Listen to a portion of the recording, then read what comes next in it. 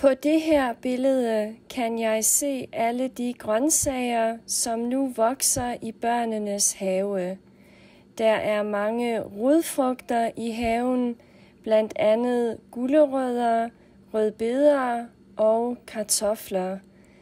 Jeg kan også se radiser og tomatplanter. Der er også andre planter, men jeg kan endnu ikke se, hvilke slags grøntsager det er. I græsset bag ved haven går en fugl og pikker græsfrø eller andre ting, den kan spise. Jeg kan også se bakkede marker og en gård i baggrunden. I luften flyver tre hvide fugle og en enkelt sommerfugl.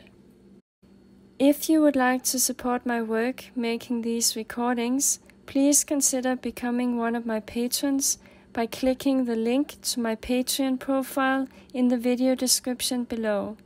Also, remember to like this video and subscribe to my channel for more. Thank you!